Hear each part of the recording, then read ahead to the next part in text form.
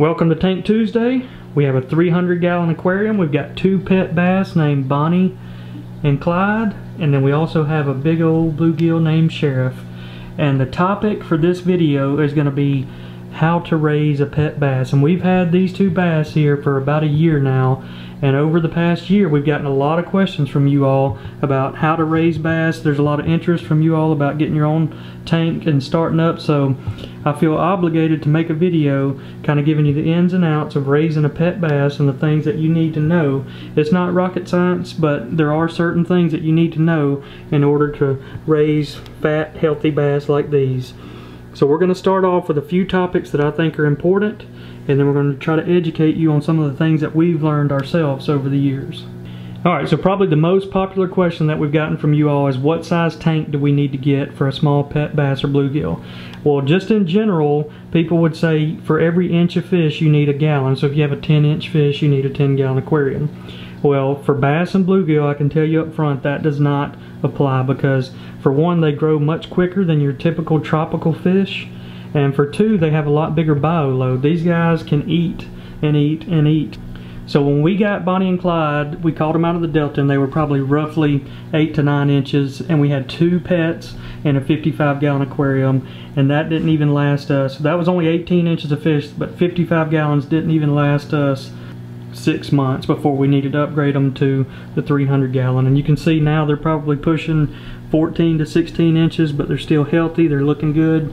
And we added a big one pound bluegill sheriff. So right now, 300 gallons is plenty big enough, but as much as they eat, they could still outgrow this 300 gallon. So when you size your aquarium, don't size it based on the length of the fish at the moment, but size it based on how long you plan on keeping them and how quickly they'll grow or outgrow that tank.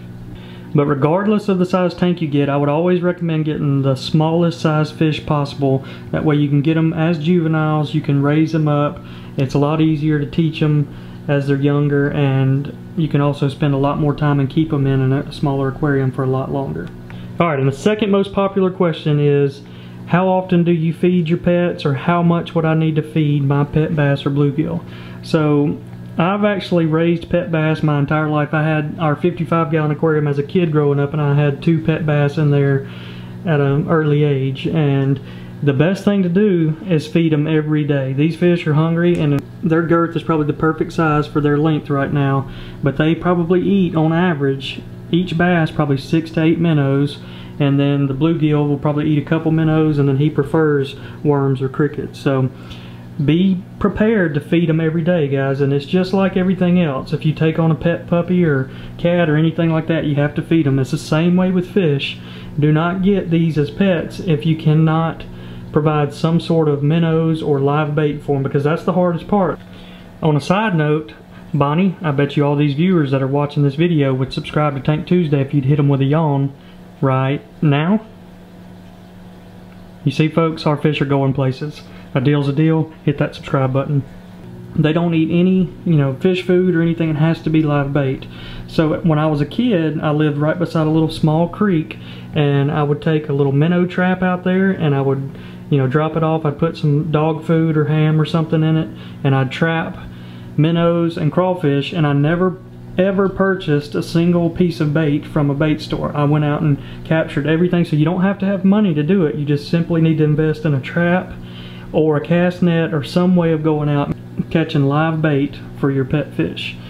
Now what we're currently doing with these fish is we have a bait store right down the road that sells crappie minnows, worms, and crickets. So we just go down there and we'll get several dozen crappie minnows and keep them in a small 10 gallon tank and feed them every night of the week. But again, you don't have to do that. You just have to have means to catch your live bait. And another question that I get from you guys is that I just caught a pet bass or bluegill and they're not eating. Well, these fish are going to have a negative association with eating right after they get caught because they were caught, they were put in a new environment, and they're still in shock. So it's okay if they don't eat for three or four days. It's just natural for these fish. It took Bonnie and Clyde about three or four days. The number one tip I'd give you is keep the lights off or dim. You know, they're not going to want to see a lot of bright lights. They're in a new environment. If the, the darker it is, the safer they feel. So the way we did it is we just put 10 to 12 minnows in the tank and I would notice each morning when I woke up there was a couple missing. You know, they would be feeding at night when everything was nice and calm and they felt the most comfortable. So just leave food in there for them, live food, and they'll eat whenever they feel comfortable. All right, and one other thing I want to mention about the size of an aquarium, if this is one way that you'll quickly know that your fish have outgrown the size of the aquarium. If you have more than one fish, and they charge at each other at any time. So just in general, bass are territorial. Even though they feed together and they can school up sometimes, a lot of the times, you know, one of the fish will be sitting up under the bonsai tree here, one of them will be sitting over here up under Stonehenge. They like their own space. So if you start seeing a bass charge at another bass, or if you know especially if it's constantly doing it then you need a bigger aquarium because they don't feel like they have the space that is required for them to feel where they're not territorial and they don't need to chase another fish away from their feeding zone. So that is one quick giveaway that'll let you know whenever you need to upgrade or upsize your aquarium.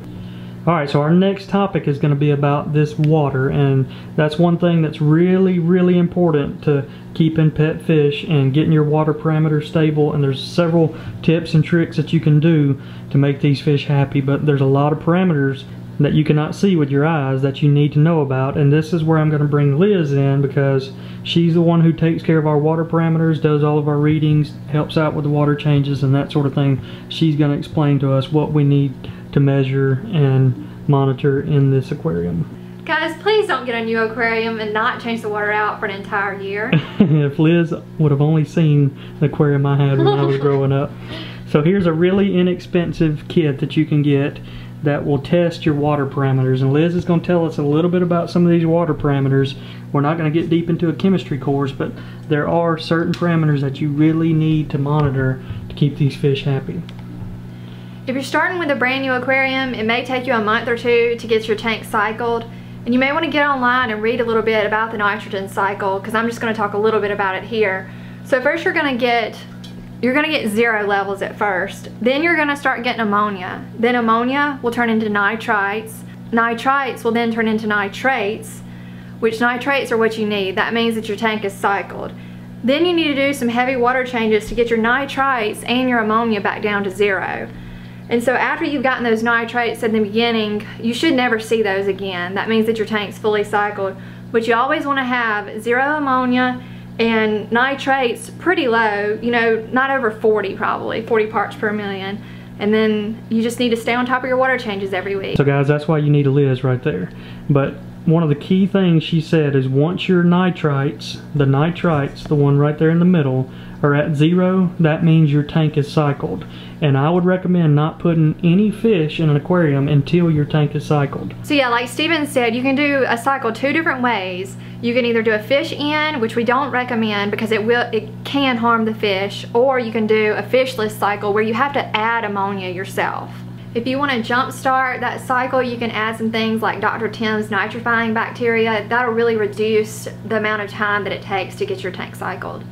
Alright, so I promised you I wouldn't go into a chemistry course here, and there were a few things that I wanted to point out on that freshwater test kit, and Liz talked about those, but you see that far right column, the nitrates, that is an issue that we're dealing with right now, and that's something that is caused in our tank by overfeeding, and we are guilty, we like to feed these fish, let them eat really good, but overfeeding leads to extra nitrates in the tank, which can also cause this brown algae growth. So if you look back there on some of these plant leaves, these plants are doing great. They're thriving, but that's brown algae, which is also called diatoms. And you can see it here on the rocks. It's kind of taken over some of our aquarium. So when you have a new aquarium, guys, you're going to eventually probably see something like brown algae or some water issues or something, and it's kind of up to you to stay on top of it and work through your issues. And we think we have a solution for these extra nitrates that are in our aquarium that we're going to be showing you here in just a minute. But brown algae is a very common problem that can either be caused by lighting, it could be too much or too little lighting, or it could also be caused by something like extra nitrates. Bonnie with a half yawn right there. Alright, as long as Sheriff doesn't bite Liz's finger off, we're going to show you real quick how simple it is to do a water test. Alright, so you take your test tube here and fill it up to the line with your aquarium water. Then you take your solution, it'll have how many drops that you need to add on here. In this case, we're using nitrites. So we would add five drops to the tube, cap it, shake it up, and then compare it to the chart here. So we would want to see the blue color on the nitrites. On the nitrites, that's that one right there. Further down you go, the worse off it is. And that's it's that simple, folks. It's really easy to do. It really makes a difference on how happy your fish are. They're living in these parameters every day, and if these things get way out of whack, your fish are going to be unhappy. So just stay on top of checking your parameters and stay on top of your water changes. Alright, and the last thing on the topic of water is anytime you do a water change where you take 10%, 50%, anything like that out of your aquarium, make sure you add some sort of water treatment that will treat your tap water because some of your water may have chlorine. It, it's There's definitely some things that could be in there that could harm your fish and even kill them. So make sure you put some sort of water treatment or conditioner into the water that you're adding back to your aquarium. So just a quick recap, make sure that your tank is big enough, make sure that you have enough live bait to feed your fish, and also make sure to stay on top of your water parameters and your water changes. Alright, it's been a little while since we gave you a 55 gallon update, so here it is. And you will notice that you don't see our two pet shark catfish named Bruce and Jaws. And it was inevitable. We knew we were going to have to swap them out of this tank into a brackish water tank. And Liz and I were about to set up a saltwater tank, but we didn't have it ready in time. So our friend has agreed to let us keep them in his brackish water tank until we get our saltwater hooked up. So we may have to give y'all an update at his tank to show you how Bruce and Jaws are doing here pretty soon. But right now, we've got our two Siamese algae eaters. One there constantly working. They do work. We've got our little hiding spot over here for Casper, our Cory catfish, and as well as Bolt, our snail. And then we have one more channel cat back in the back and the vote was for Whiskers. It was a tight race between Jackie Chan as in channel cat and Whiskers and Whiskers edged it out. So the channel cat's name's Whiskers, and then the last guy that's in this tank, and I don't see him at the moment, is the Pleco. He's around here somewhere. Alright, as I mentioned earlier in our video, we had an issue with nitrates, and what we've done with our sump is we've completely removed all of our bio balls here, and we're going to start slowly replacing them with Marine Pure Biofilter Media. And what it is is an extremely porous ball that will house a lot of that good bacteria, but it'll also let us slowly start reducing our nitrates in our tank.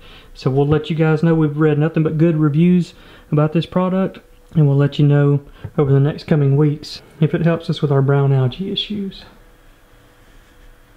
Alright, so if you look right in front of Bonnie's mouth down there hiding, let's see if we can get focus, yep. That is Red Jr. We had a little scare with him. We thought that he might have died because we lost one of his pinchers last week and we hadn't been able to find him. But he's hiding down behind the megastone right here. We're going to drop a couple of shrimp pellets in there. We'll see if we can get them to come out. Let's see, Sheriff may eat them.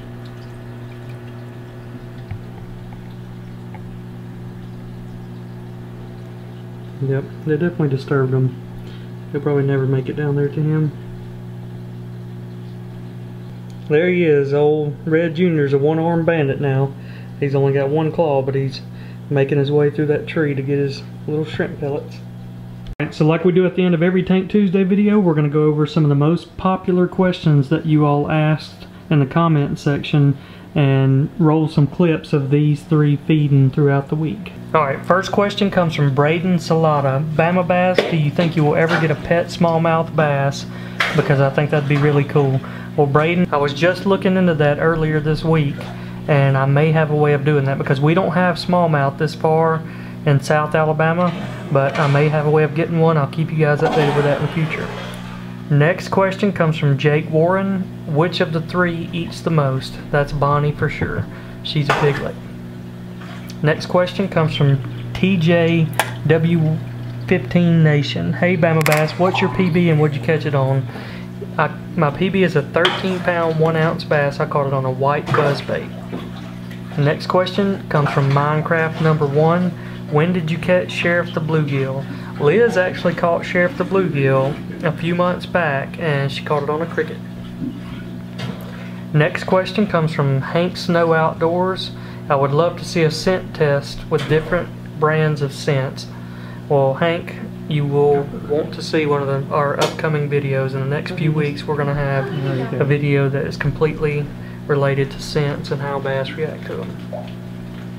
All right, and last question from Eminem Outdoors. Pet Bass Olympics. this this one cracks me up.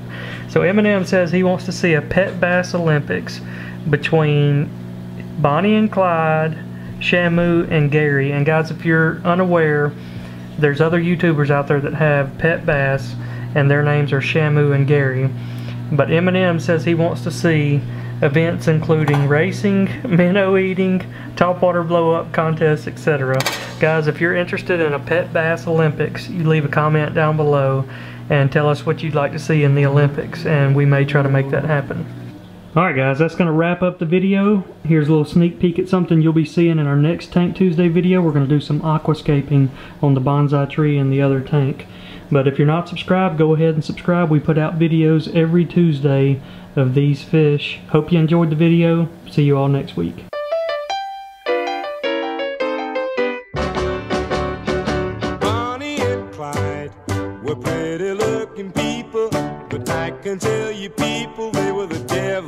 People,